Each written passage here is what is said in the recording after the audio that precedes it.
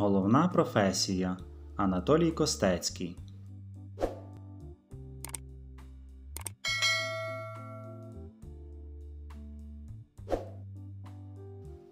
Спитай у тата і у мами, які професії у них. Професій різних є чимало, сповна їх вистачить на всіх.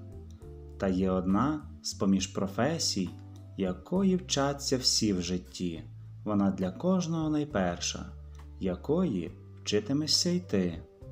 Учитель, лікар чи геолог, письменник, слюсар чи кресляр всі називають головною одну професію школяр.